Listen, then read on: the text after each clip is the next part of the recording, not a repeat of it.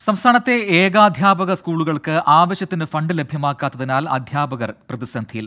കുട്ടികളുടെ ഉച്ചഭക്ഷണത്തിനുൾപ്പെടെ സർക്കാർ അനുവദിക്കുന്ന ഫണ്ട് പോരാതെ വരുന്നതോടെ സ്വന്തം ശമ്പളത്തിൽ നിന്ന് തുക കണ്ടെത്തി കുട്ടികൾക്ക് ഭക്ഷണം നൽകേണ്ട അവസ്ഥയിലാണ് പല അധ്യാപകരും. മറ്റ് സ്കൂളുകൾ പി ടി എ ഫണ്ടിൽ നിന്നുൾപ്പെടെ തുക കണ്ടെത്തുമ്പോൾ ഇവർക്ക് പക്ഷേ അതും സാധിക്കില്ല.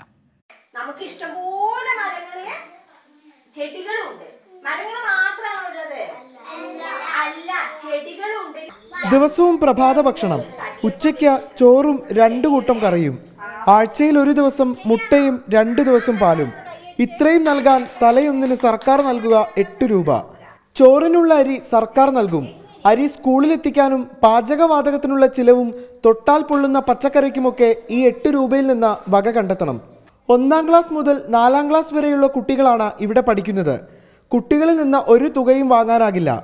ഇതോടെ സ്വന്തം വരുമാനത്തിൽ നിന്ന് ഒരു വിഹിതം മാറ്റിവെച്ച് കുട്ടികളുടെ ഉച്ചഭക്ഷണം ഉറപ്പാക്കുകയാണ് ലീന ടീച്ചറും സഹായിയും.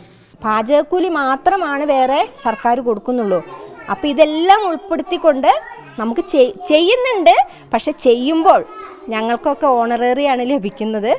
അപ്പോൾ അതിൽ നിന്ന് കണ്ടെത്തിയിട്ട് വേണം നമ്മളിതും കൂടെ മെയിന്റെയിൻ ചെയ്തു പോവാൻ.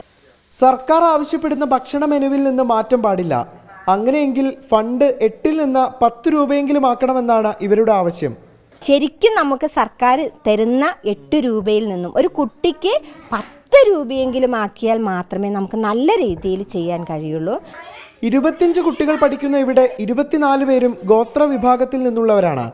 അതുകൊണ്ട് തന്നെ പി ടി എ പോലുള്ള സംവിധാനങ്ങളിൽ നിന്ന് ഒന്നും പ്രതീക്ഷിക്കുക വയ്യ. ഇത്രയും വിദ്യാർത്ഥികളെ നയിക്കുക എന്നത് തന്നെ ശ്രമകരമായ ജോലിയാണ്. ഇതിനിടെയാണ് സാമ്പത്തിക ബാധ്യത കൂടി ഏറ്റെടുക്കേണ്ട അവസ്ഥ. വകുപ്പുകളുടെ അടിയന്തര ഇടപെടലുകൾ വേണം ഏകാധ്യാപക സ്കൂളുകളിലേക്ക്. വയനാട്ടിൽ നിന്ന് വിനായകനൊപ്പം നിഖിൽ പ്രമേഷ് ട്വന്റി